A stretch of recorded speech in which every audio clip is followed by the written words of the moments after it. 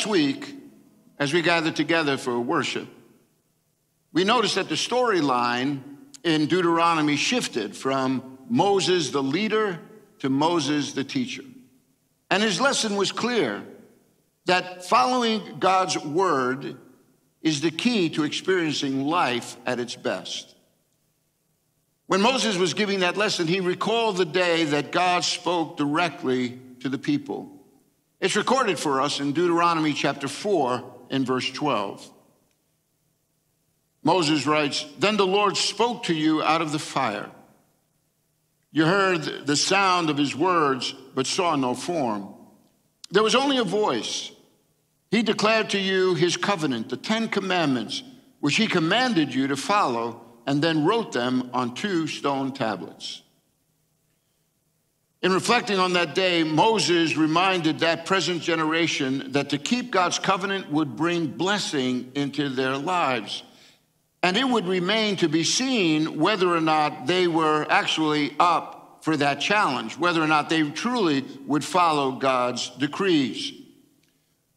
But here's the thing perfect performance was never really the issue. God had already witnessed their rebellion, and He knows what's in the heart of man.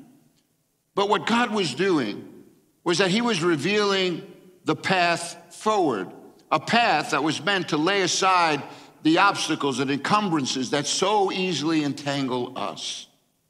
So Moses, the teacher, is going to continue his instruction by emphasizing the reason why we should follow his decrees. And what, the, what lesson does Moses then have to teach us today? Well, before we turn to Deuteronomy chapter 4, why don't you bow your heads with me in a word of prayer? Father, I want to thank you so much for these opportunities that you give us to open up the Word of God together, to listen to these historical accounts and glean from them truths that we can begin to um, employ in our everyday life. I want to thank you for the ministry of Jesus that just sheds even more light on all of these Old Testament references and stories, seeing its culmination in the very one who came to give his life a ransom for the sins of men. Thank you for this opportunity, and may we leave blessed, challenged, motivated to share our faith with others. And this we pray in Jesus' name. Amen.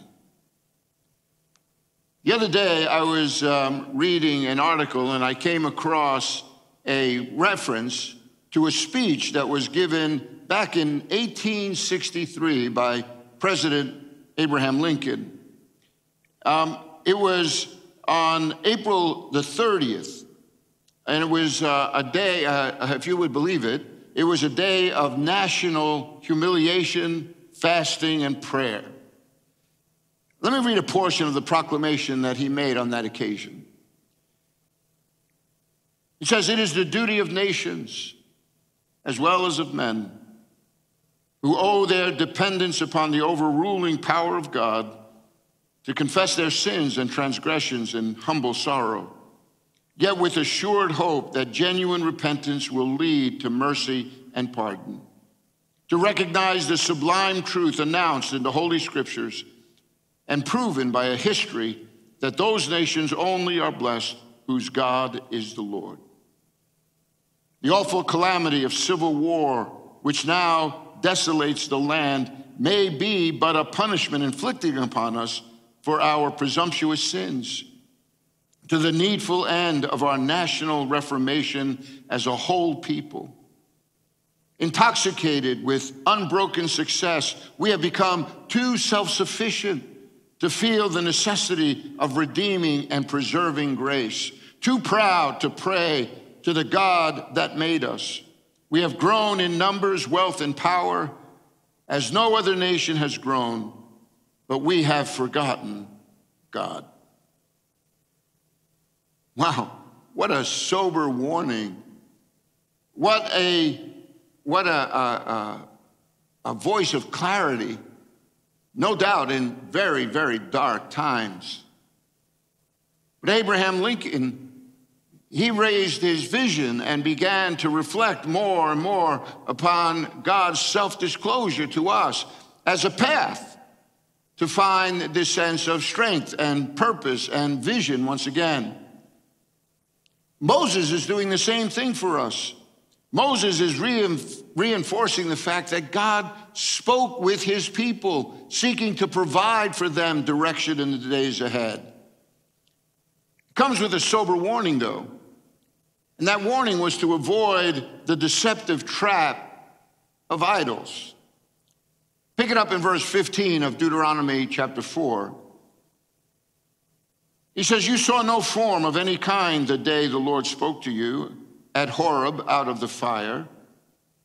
Therefore, watch yourselves very carefully so that you do not become corrupt and make for yourselves an image, an image of any shape, whether formed like a man or a woman, or like any animal on earth or any bird that flies in the air, or like any creature that moves along the ground, or any fish in the waters below.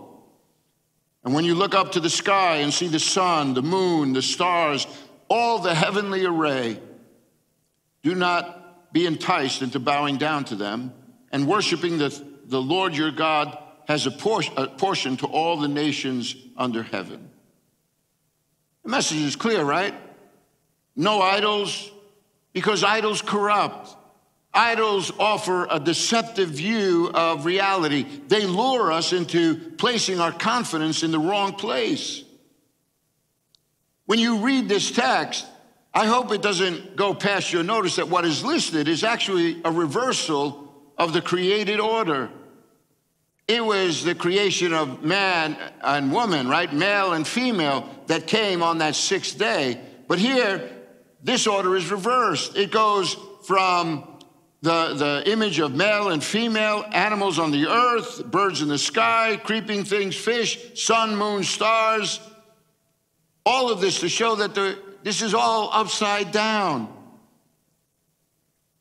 And I hope it doesn't pass your notice as well that Israel was just taken out of the land of Egypt, where they had spent over 400 years in enslavement.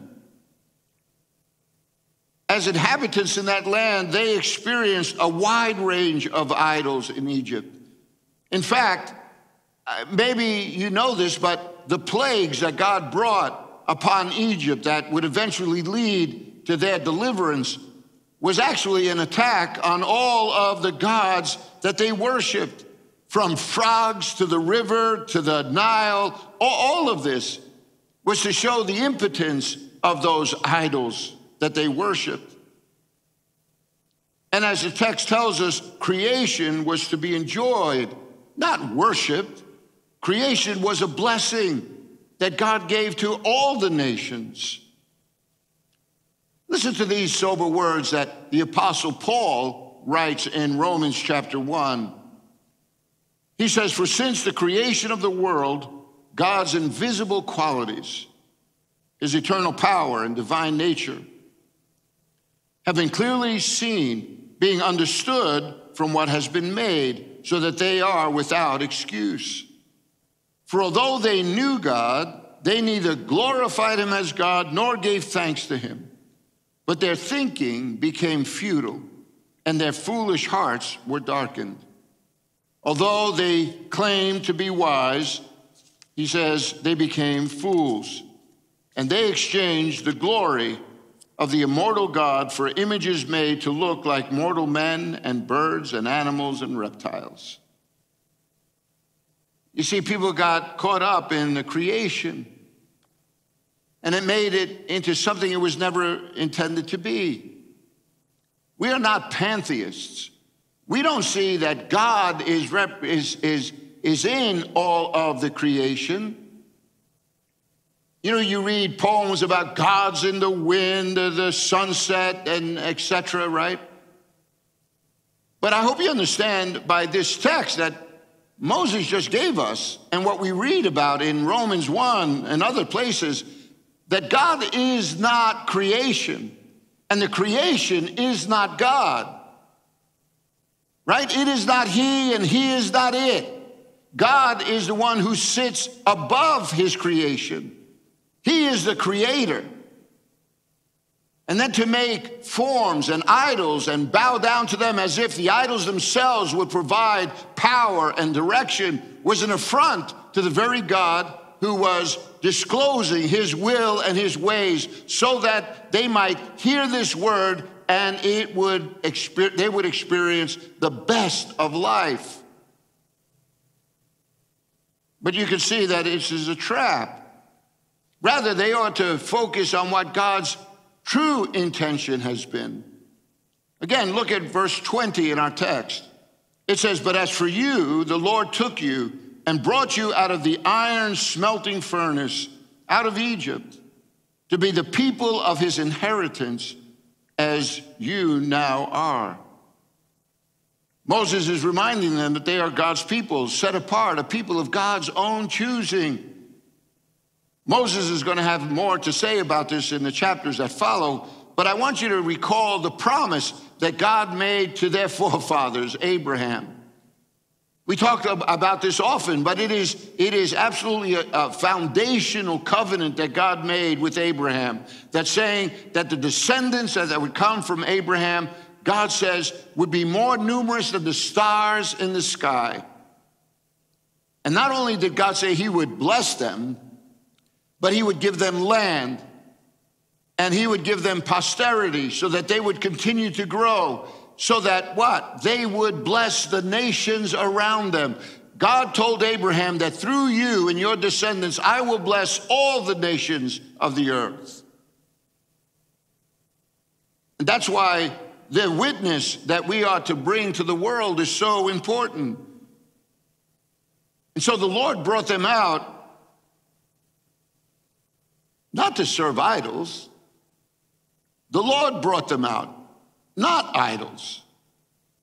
We're part of God's family. We're this inheritance now that God is now going to give to Israel as they possess this promised land. So they are to avoid the temptation of making idols of what are lifeless and instead they ought to put their, their attention on their identity. Children of God's own choosing. And why is he why is he telling them to avoid such a trap? Because actions are going to have consequences. Those actions, they are, they are going to affect their present. Listen again here as he tells them in verse uh, 21 he reminds them again that the Lord was angry with me because of you. And he solemnly swore that I would not cross the Jordan and enter the good land the Lord your God is giving you as your inheritance. He tells them, I will die in this land. I will not cross the Jordan. But you are about to cross over and take possession of this good land. See, this text is really an illustration as to why they ought to consider what Moses is teaching them to be of vital importance because actions have consequences. And Moses now is giving his personal situation as an example of that. Moses is reminding them for the third time in just these four chapters that his fate has been determined. His disobedience is not going to be overlooked. He is not going with them as they enter into this promised land. And yet he adds that their future is not yet determined. Right? He goes on to say, but you are about to cross over and take possession of this good land. So there is this sense of promise This is wide open for you. Don't fall into the same mistake that I did. And as we've been reading, your forefathers. He goes on and says this Be careful not to forget the covenant of the Lord your God that he made with you. Do not make for yourselves an idol in the form of anything the Lord your God has forbidden. For the Lord your God is a consuming fire, a jealous God. You know, that word that was given on Mount Sinai is the same word that God now is giving to the Israelites camped on the borders of Moab. It's the same word. In fact, they're told not to forget this covenant, right? These 10 commandments that God has given them. And when, when Moses writes here that they are not to make for yourselves an idol in the form of anything, it's the same words that are found in the, as the second commandment of the 10 where he says, You shall make, you shall have no other gods before me. God is jealous over them. He has only their best in mind. But God is also just. And our entrance into this family requires that we only not only trust him, but that that is demonstrated in the way we live out this covenant that he is establishing. And that's in the present. What about the future? He goes on here in verse 25. He says, After you have had children and grandchildren and have lived in the land a long time, if you then become corrupt and make any kind of idol, doing evil in the eyes of the Lord your God and provoking him to anger, I call heaven and earth as witnesses against you this day that you will quickly perish from the land that you are crossing the Jordan to possess. You will not live there long, but will certainly be destroyed. The Lord will scatter you among the peoples, and only a few of you will survive among the nations to which the Lord will drive you. Do you notice the word if in this paragraph? Their future is going to be determined by their actions. And those actions are going to stretch out into the future. And this is no empty threat. God says if you live this way, it will be addressed. You will quickly perish. You will not live long in the land. You will be destroyed, scattered. Only a few will remain. All of this is going to be seen in the exile in the years to come part of Israel's dark history. And when they get there, notice what it says here in verse 28. Here's the irony of this all. He says they're going to be taken out of this land because of all of their of the proclivity that they have to idol worship. You know, recognizing these idols power that they they don't have. And now they're going to be taken out of this land pushed out into exile. And when they are in exile, notice what it says in verse 28 there you will worship man made gods of wood and stone, which cannot hear or see or eat or smell. Under judgment, they will do what they have freely chosen to do serve other gods. But while they're there, they will discover the impotence of these gods. The idols that have been made are lifeless. They can't do anything. They can't see, hear, eat, smell. I wrote down in my notes here that those standing before Moses witnessed the judgment that fell upon that previous generation. It was their parents, right, that wandered in that wilderness for 38 years if you needed a lesson that actions have consequences, that God is calling us to a faithful obedience to Him, to His word that He has given to us as a path on which to follow. Here is this great illustration. It's staring at them right in the face. But I wrote down here, I says, I wonder how that generation explained their circumstances. I wonder what the reason was that they gave for their 38 years of wandering around in this wilderness. What do you think they said to their children who no doubt wondered why they were still out here in the desert? Why, if God had made a promise to take them out of Egypt, to bring them into this promised land, why are they not there yet? What do you think happened around their kitchen tables when they gathered to eat or when they, you know, uh, engaged in, in, uh, in the services there with Moses? What, what do you think was being shared back and forth? Do you think they recalled God's displeasure? Did do you think they told people this has happened because we were disobedient to what God had directed? Or do you think that they blamed Moses or just poor timing or bad luck? It's interesting to me how we try to explain the mess away. But how do you explain the mess that we find the world in today? And more importantly, what do you think is the path forward? What do you think it's going to take for us to get out of this mess?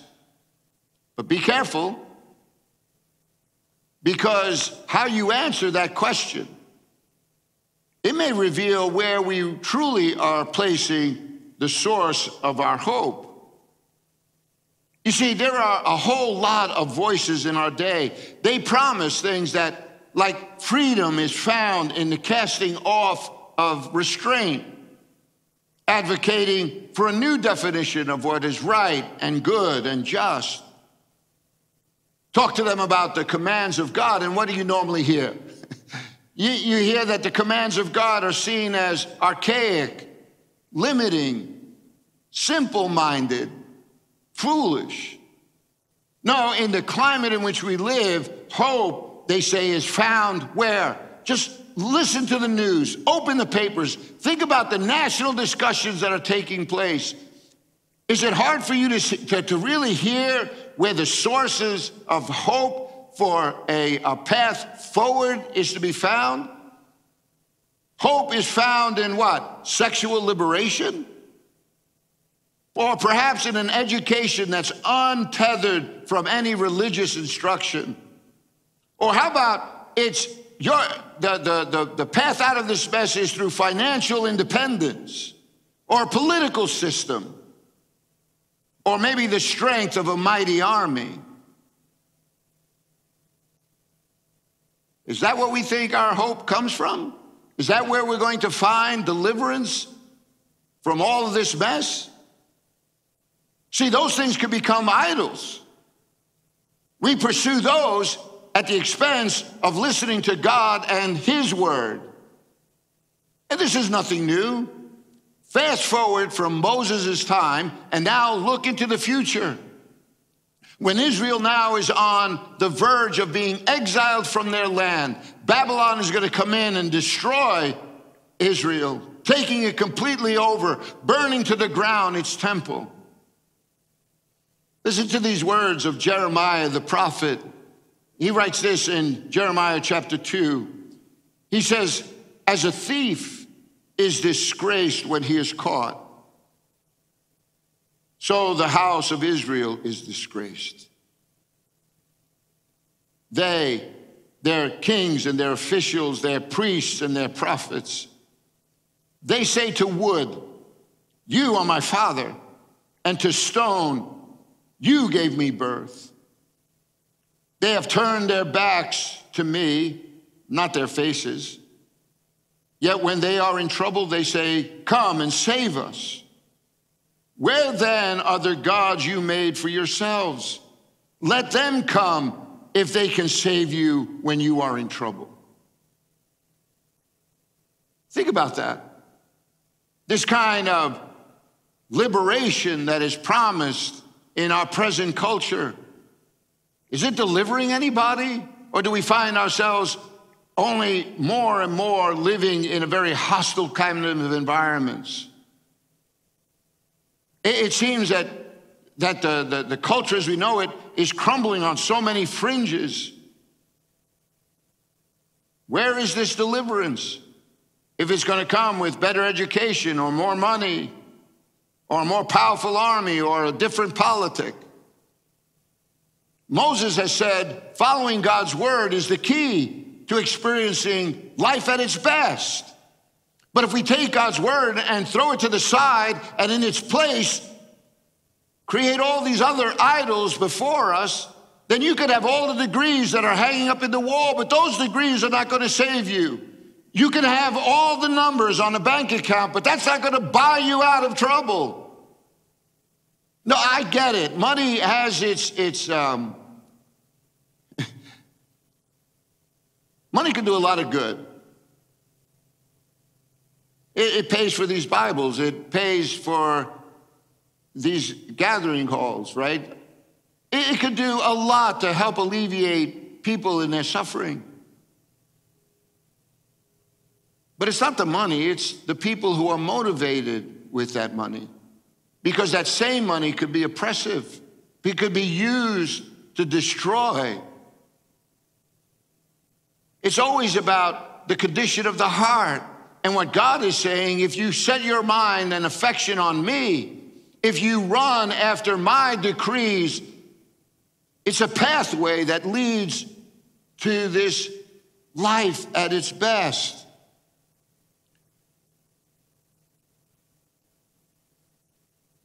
But there is a path back. Notice what he says here in verse 29. But if from there you seek the Lord your God, you will find him if you look for him with all your heart and with all your soul. When you are in distress and all these things have happened to you, then in later days you will return to the Lord your God and obey him. For the Lord your God is a merciful God. He will not abandon or destroy you or forget the covenant with your forefathers, which he confirmed to them by oath. You see, this is a posture now that is key to freedom. It's the path that leads us back to God's heart. Isn't that what it says here in verse 29? You will seek me and find me when you seek for me with all of your heart. The path is to be marked out by a humility that we demonstrate before God, as well as a devotion to his decrees. It's interesting to me that that same word that is recorded for you in Matthew 4 29 is also taken by the prophet Jeremiah on the verge of this exile. And in Jeremiah 29 11, it says, I know the plans I have for you plans to prosper you, not to harm you, to give you a hope and a future. For you will seek me and find me when you seek for me with all of your heart. Don't you see? It's the same word over and over again. Just fast forward generations, and it still comes back to the same key. The change of a heart that humbles himself before the God who created not only the heavens and the and earth, but he created you and me.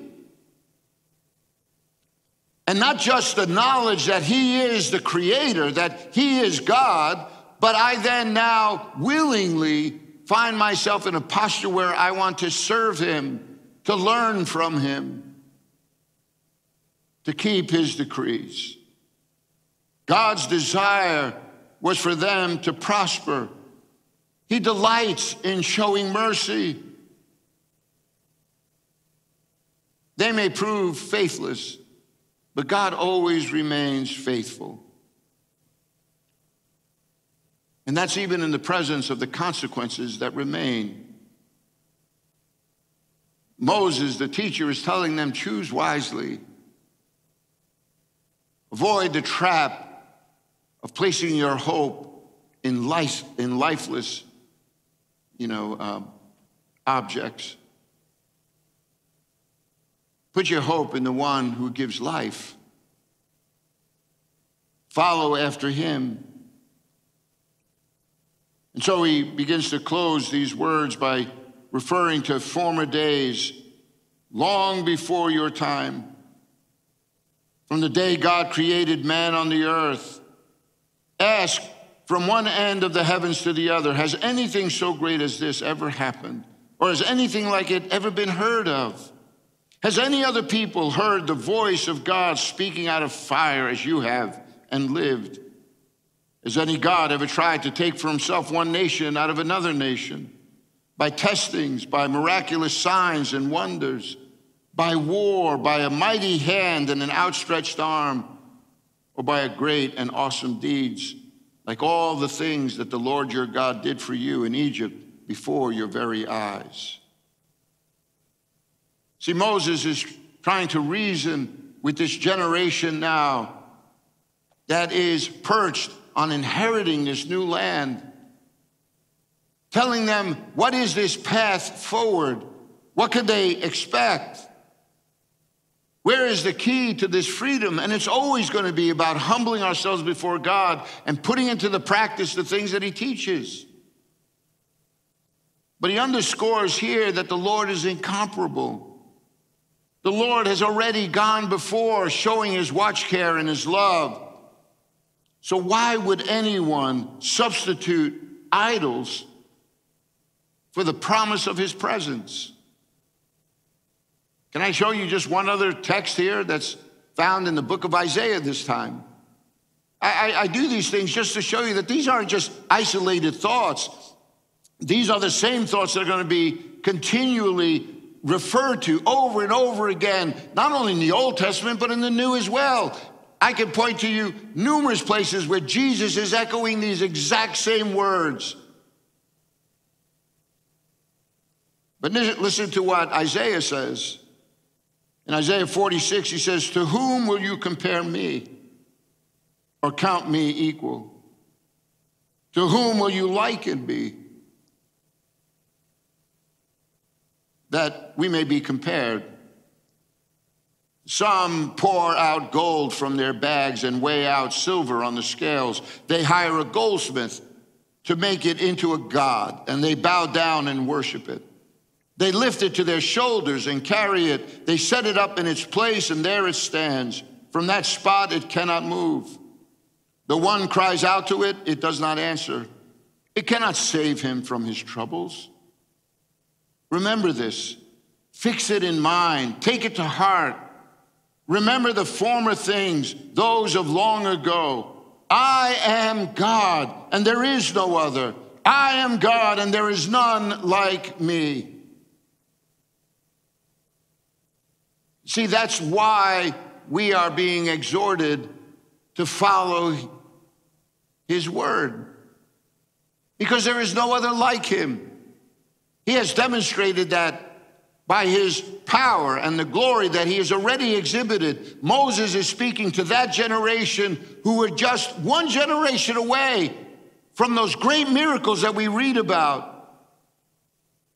Because they needed to be reminded again. It's something that it's not hardwired into us, but each and every one of us has to come to that conclusion where we see God when we see the Lord as God and there is no other, when that takes place in your life, then it, it's a natural thing for you to want to do what he says because you trust him, you have confidence in him.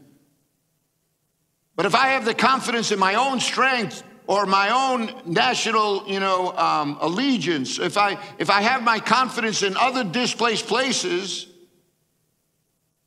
then don't you see I'm susceptible to running on a path of my own doing and missing out on the life that God is promising. And we see that happening over and over again.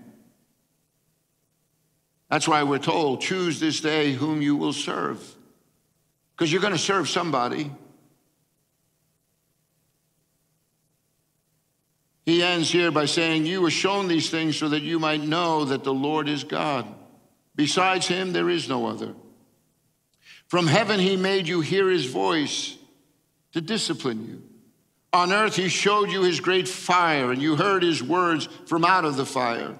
Because he loved your forefathers and chose their descendants after them, he brought you up out of Egypt by his presence and great strength to drive out before you nations greater and stronger than you, and to bring you into the land to give it to you for your inheritance as it is today. His display of power was simply so that we might gain confidence that He is the Lord that there is no other.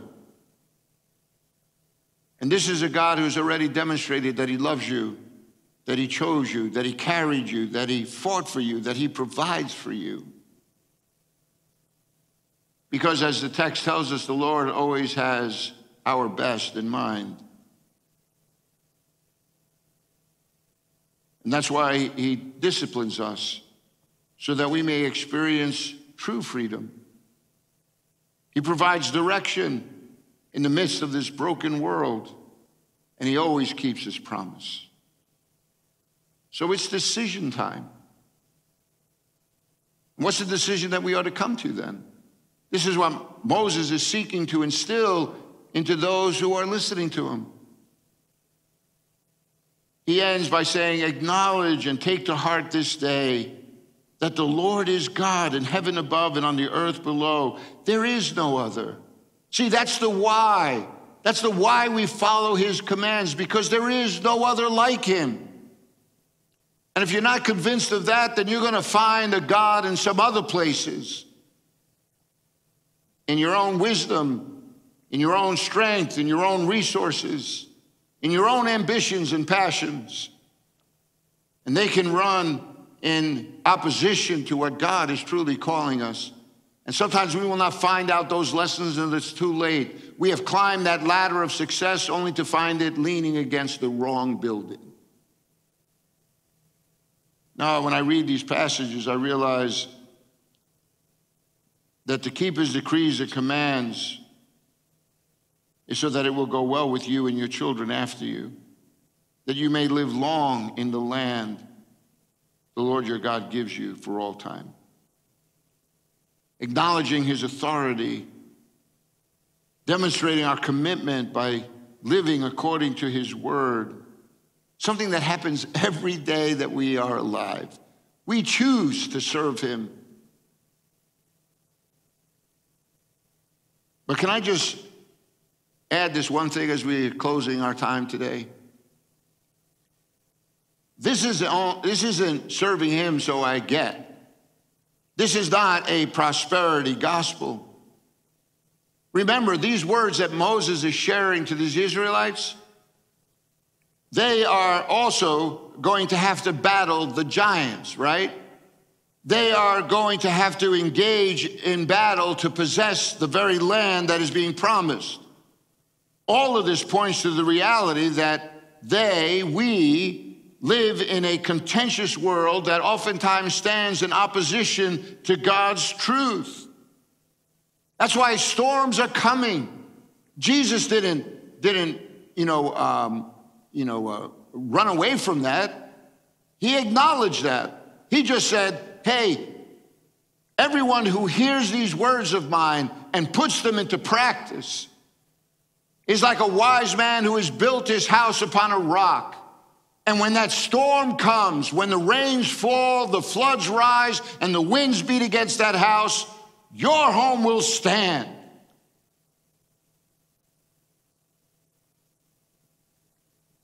But it's also seen in the conflicts that arise, the brokenness that's in the world around us. Can you not remember the Beatitudes back in Matthew when he talks about the poor in spirit?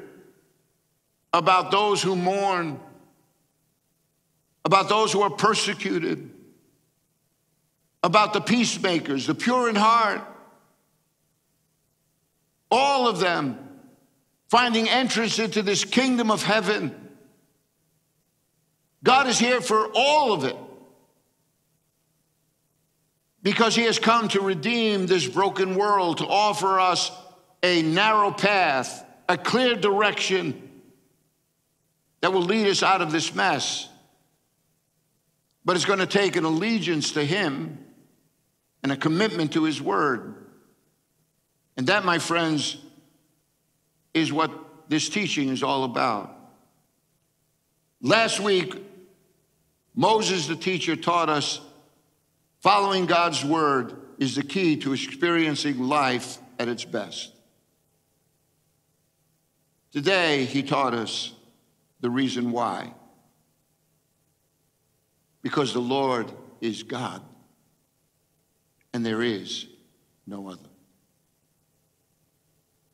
Let's pray.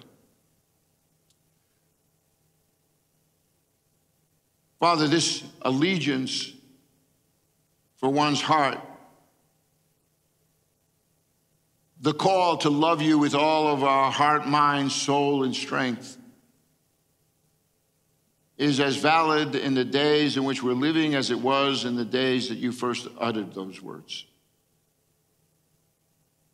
If we displace you for whatever reason in our life, it will set us on a course, Lord, that very often is in opposition to the truth that will set us free.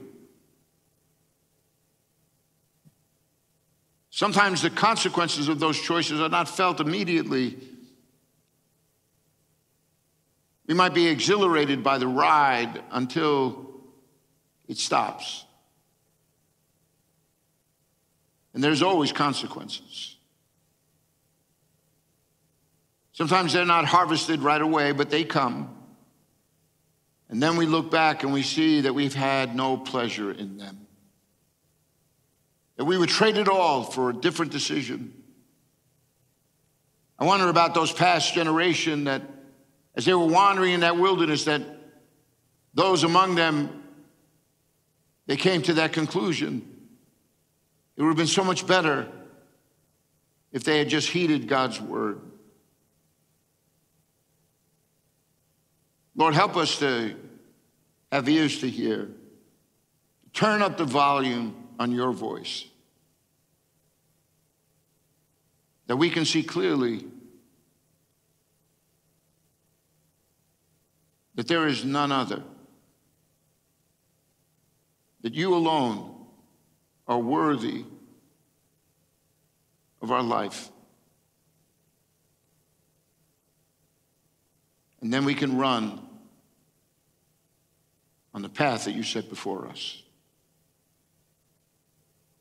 I pray all these things in the matchless name of Jesus. Amen.